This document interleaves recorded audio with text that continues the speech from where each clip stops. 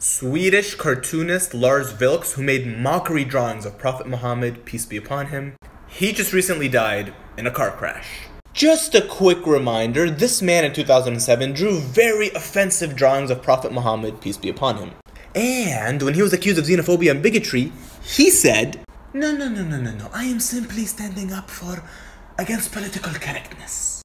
No, honey, you're a human piece of trash. Whose only claim to fame was mocking a prophet and hiding behind freedom of speech. Sweden even allocated taxpayer dollars to this man to offer him police protection since 2007.